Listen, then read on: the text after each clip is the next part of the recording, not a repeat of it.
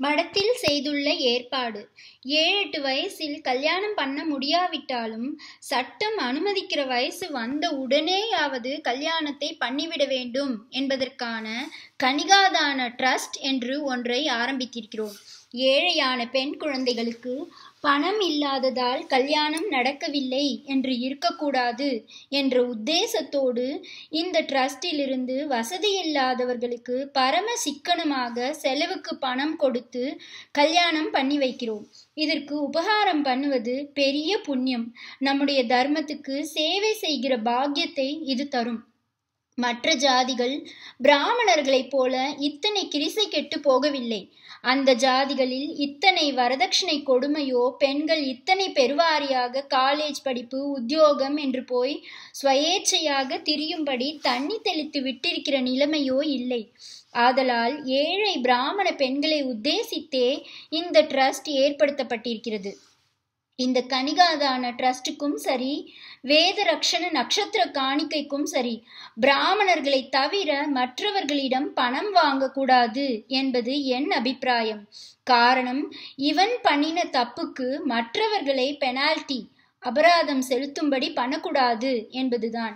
வேதத்தை விட்டது இவன் பண்ணின பெரிய தப்பு. சட்டத்துக்கு உட்பட்டு கூட அதன்படியான மினிமம் வயசிலும் பெண்களுக்கு கல்யாணம் பண்ணாமல் விட்டிருப்பது அதே மாதிரி அல்லது அதைவிட பெரிய தப்பு.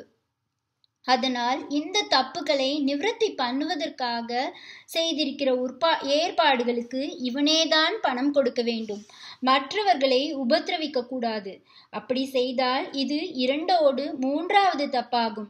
பிராமணன்தான் இப்பொழுது எந்த தொழிலுக்கு வேண்டுமானாலும் போய் சம்பாதிக்கிறானே.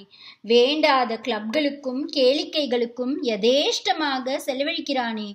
அதனால் அவனேதான் இந்த ரெண்டுக்கும் கொடுக்க வேண்டும் என்பது என் அபிப்பிராயம். திருமாங்கல்யம் கூரை புடவை முகூர்த்த வேஷ்டி இவை கொடுத்து வெகு சிக்கனமாக கல்யாணத்தை முடிப்பதற்கு கனிகாதான ட்ரஸ்டின் மூலம் திரவிய சகாயம் செய்யப்படுகிறது.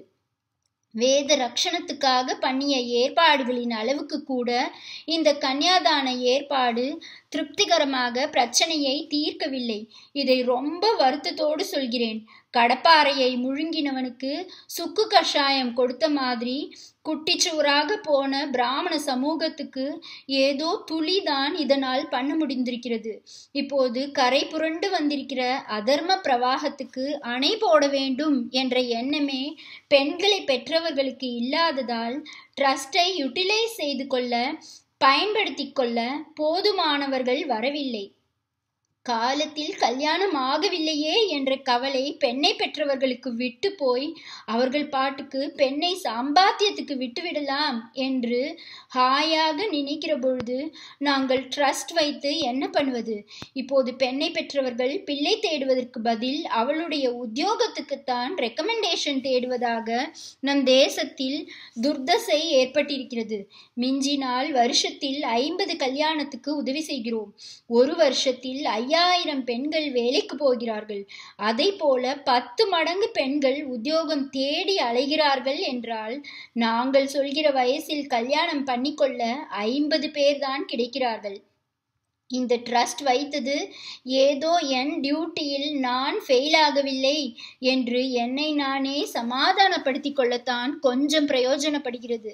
சட்ட வரம்பு தாண்டின உடனேயே கல்யாணம் பண்ணி கொடுக்கும்படி ஆகவாவது முன்னேற்பாடுகளை தயாராக செய்து வைத்து கொள்ளும்படி தாயார் தகப்பன்மார்களுக்கு ஒரு மானம் வேகம் சுரணை பிறக்காதா என்பதால் இப்படி பச்சையாக சொல்கிறேன்.